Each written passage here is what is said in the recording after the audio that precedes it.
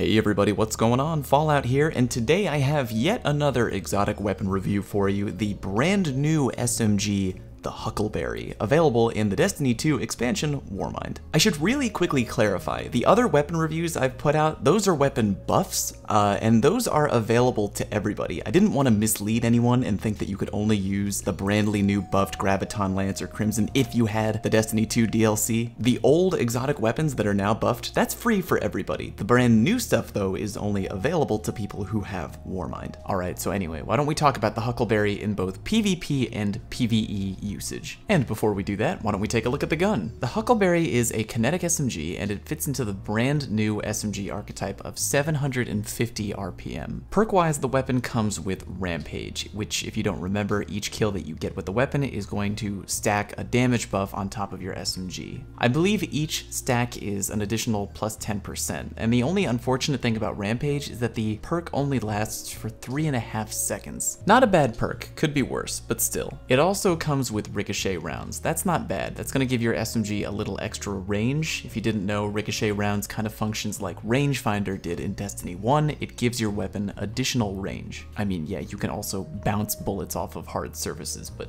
nobody really cares about that. Finally, we come to the weapon's unique perk, and that's called Ride the Bull. Increased rate of fire and recoil while you're holding down the trigger, kills with this weapon reload a portion of the magazine. Not bad. Getting your ammo back directly to the magazine after a kill, that's pretty cool. That kind of pairs well with Rampage. You get a kill, two things happen. One, more damage from Rampage, and two, more ammo directly back to your magazine. They go hand in hand. Now, about that increased rate of fire and recoil. I'm gonna let you listen in on my first initial reaction on testing the weapon's recoil in PvE.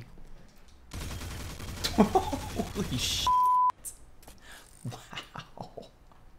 I mean, that's me just holding down the trigger, not attempting to control the recoil at all. I feel like I like doing that just to see the weapon's natural recoil pattern, but obviously if you hold the sticks if you're playing on controller and you shoot the Huckleberry, you can do a somewhat good job of controlling the recoil, but still, the gun has a lot of kick. If you do plan on using this weapon on console, you might really benefit from putting on a reduced kinetic recoil armor mod on your Guardian. Okay, so let's talk about how the Huckleberry performs in PvP PvP. When you're fighting people up close with it, as you may have guessed, this weapon shreds. However, if your enemy is further than close range, really close range, you might have a lot of difficulty landing your shots. I kind of found that when enemies were at a certain range away from me, I sort of started tapping the trigger a little bit before getting close enough to give them the full-on hold the trigger down horns of the bull, if you know what I mean. I know it's an SMG, and I know SMGs weren't designed to function really well at medium-ish to long range, but still, the gun only really performs very well right up close. The ammo that you can get back directly to your magazine on a kill, that's pretty nice, and even though Rampage can help occasionally, you shouldn't really expect it to unless you're playing a really clustered game type like Rumble or Iron Banner. Because the Huckleberry puts in work at close range, if you want to really use it well in PvP, you're going to have to pair it up with a medium to long range elemental weapon to cover yourself at every range. You know the drill. You know, the darkest before, the inaugural address, the Mannannan, the Pleiades corrector, any longish range elemental that you feel good about using, pair it with that. I think if we're being honest though, we want to boil it down to one simple question. Is the Huckleberry worth using in PvP? And to that I say,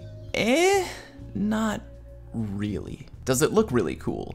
Yeah. Is it fun when you get a kill up close? Yeah, that being said though, there are a lot of really damned powerful exotic weapons in D2 right now, and using the Huckleberry almost seems like a waste of an exotic weapon pick in PvP. Uh, hey, didn't you just say it was pretty good up close though? Yes, I did say that, but still, I think the gun is far outshined by the golden standard of the PvP SMG, which is the Antiope. The Antiope is way easier to control, it's easier to land shots, it's better at longer ranges, it comes with the far superior PvP perk Kill Clip, which gives you a stronger damage bonus than Rampage, and it lasts longer. They're also both kinetic weapons, so unless you really resonate with the Huckleberry, I'd struggle to see why anyone would use it over the Antiope in Crucible. But the gun looks really cool. I mean, yeah, it does look cool. But you know what? that ain't enough for me. I'm not shallow, people. I need substance. It's what's on the inside that counts. And the Huckleberry has the heart, but it ain't got the talent.